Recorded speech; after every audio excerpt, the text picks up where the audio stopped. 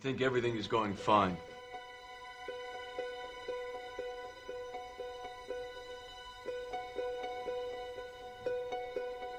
But then one thing goes wrong.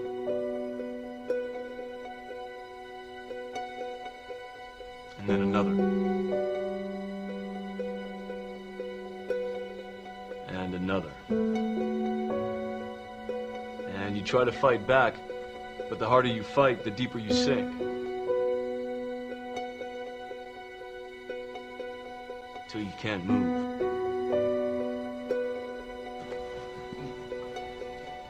You can't breathe.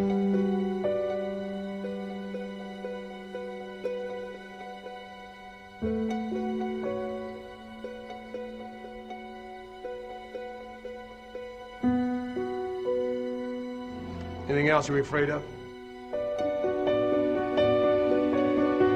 The truth is, you guys have been given something that every athlete dreams of. A second chance. And you're afraid of blowing it. We all are.